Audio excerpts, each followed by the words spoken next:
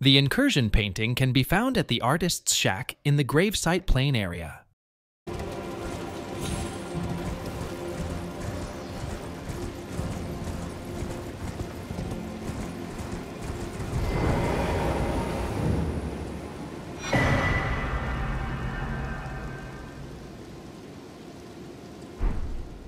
To complete the puzzle, you need to find the ghost sitting in a chair west from the Great Bridge north Site of Grace. You will be rewarded with the Serpent Crest Shield.